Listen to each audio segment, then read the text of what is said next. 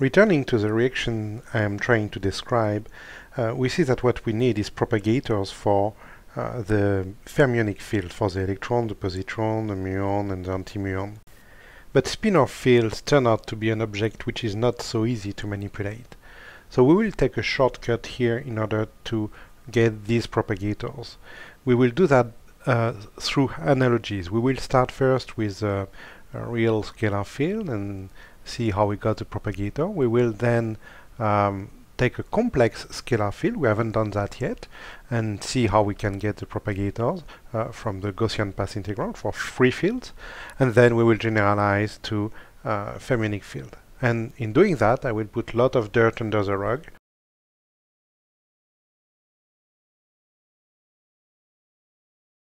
This is a discretized version of a Gaussian integral, which I use to solve the Gaussian path integral for free field in the real scalar case.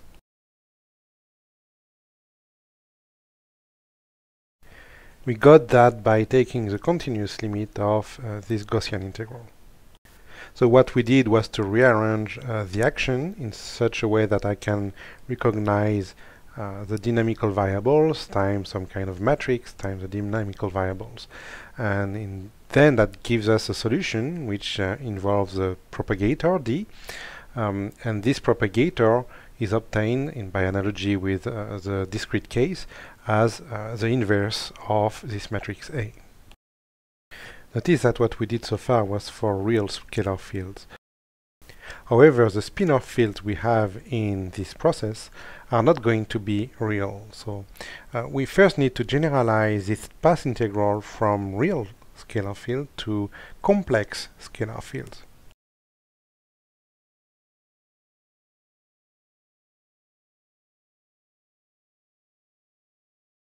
We start with a generalization of this uh, Gaussian integral for real variables to a Gaussian integral for complex variables. Now if our dynamical variables are complex, we need to integrate not only over Q, but also over the Q stars, because we have two degrees of freedom for the real and the imaginary part, or equivalently for the uh, variable Q and its complex conjugate. So I'm not going to prove this integral, the proof goes the same way as what we did for the real case, um, and you can find it easily uh, on the web. So despite the appearance, it's not a lecture on Gaussian integrals. So let's look at the difference with the real case. We see that um, in the real case we have a one-half factor in the exponent, which we don't have anymore. In addition, in the real case, the source appears only once in the left-hand side because we have only one type of dynamical variable. Now we have two types of dynamical variable because we have uh, q and q star. Therefore, we need uh, the source twice. And because at the end the action should be a real number, uh, we want uh, the um, exponent to be i times uh, the action, so i times a real number. Therefore, we need to sum uh, jq star with uh, j star q in order to get such a real number. And let's now look at the right hand side. Again, the difference is only uh, the factor 1 half, which we don't have anymore in the complex case. And because our source is complex, we also need a j star. The path integral for free complex scalar fields is obtained by taking the continuous limit of this Gaussian integral. That gives us a complex uh, Gaussian integral, which we can solve exactly.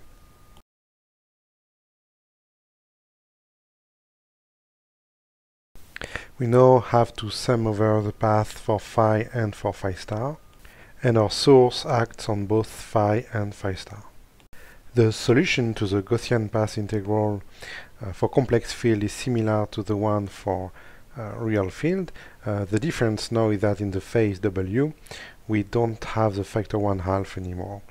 Uh, however, the propagator is the same uh, for real and complex scalar fields. Notice also that the Lagrangian for complex scalar field is a little bit different than the one for real scalar field. Uh, it's still a Klein-Gordon Lagrangian. However, now uh, we don't have the factor 1 half anymore. Remember that this factor 1 half was a convention anyway, uh, so we have it in uh, the real case but not in the complex case. The reason why we don't need the factor 1 half anymore is uh, because when you plug in this Lagrangian into the Euler-Lagrange equation in order to get the classical equation of motion, uh, you'll find that without the factor 1 half you get uh, naturally the Klein-Gordon equation. So I invite you to try to do that by yourself. We are now ready to generalize this Gaussian path integral for complex scalar fields to the case of spinor fields.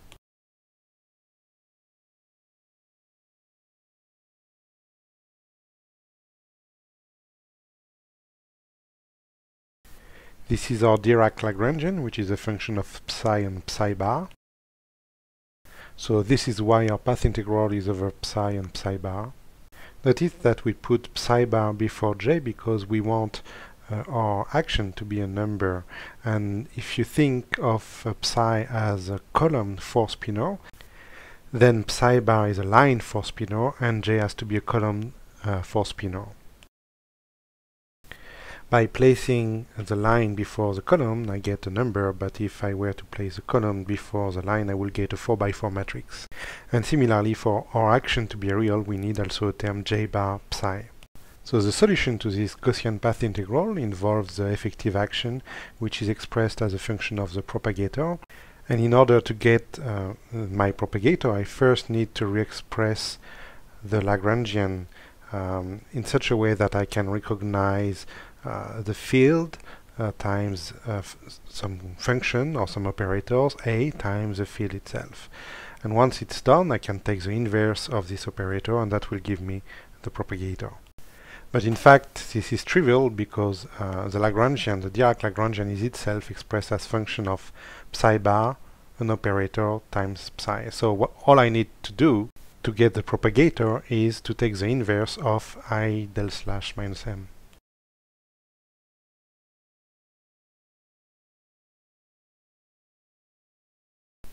Note that A uh, is a function of del slash and del slash uh, is itself uh, expressed as a function of the gamma matrices, so it's a 4 by 4 matrix. So A is a 4 by 4 matrix and therefore D uh, has also to be a 4 by 4 matrix. The indices A, B and C refer to the uh, columns and line of the 4 by 4 matrices. Substituting A by its expression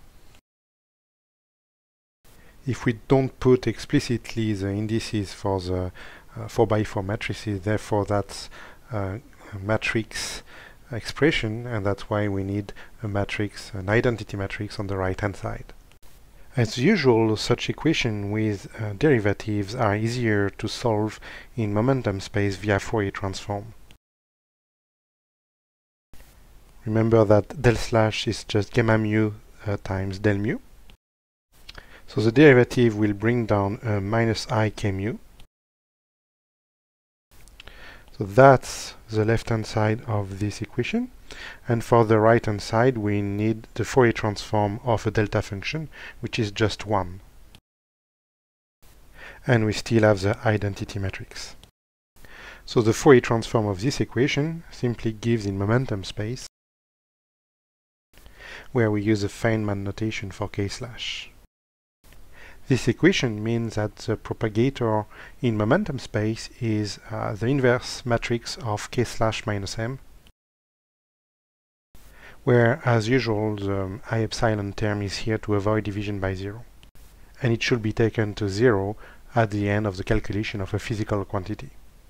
We can rearrange this expression for the propagator by multiplying by uh, k slash plus m both in the numerator and in the, in the denominator.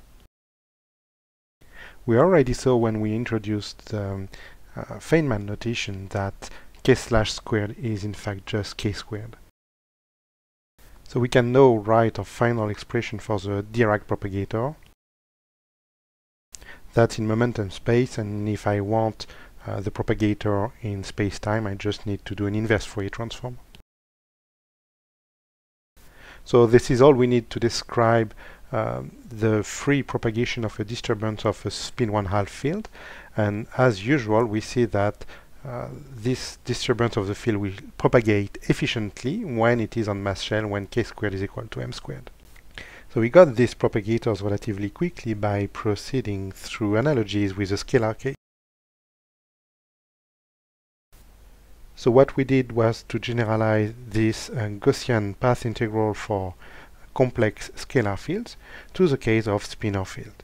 So of course there is a big step here because uh, we already know that spinors are much more complicated objects than scalars. Uh, they are uh, they don't behave as vectors, they don't behave as scalars, so that's where we hide uh, dirt under the rug. In fact, the spin statistic theorem tells us that spinors corresponds to spin one half uh, particles and must anti-commute.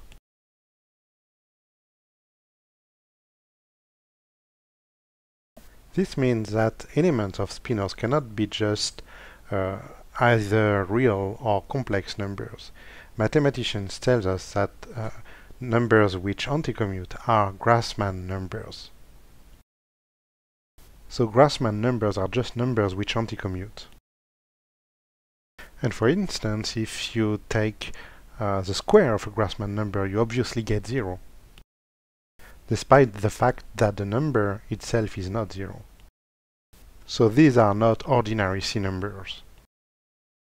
It may sound like a mathematical abstraction, but it turns out that this is uh, the physical, uh, classical field for uh, electrons, for instance, is indeed made of these Grassmann numbers. Um, we, we find that strange because we don't have uh, an intuition uh, from our classical experience of the world uh, of what would be an electron field.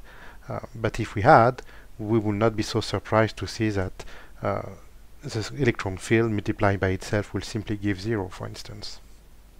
The analogy we used um, works well, in fact, because uh, indeed this Gaussian path integral for fermions, for spinor fields, is correct. however, if you want a more uh, rigorous proof of its derivation, I invite you to consult chapter 28 of um, Quantum Field Theory for the Gifted Amateur by Lancaster and Blundell.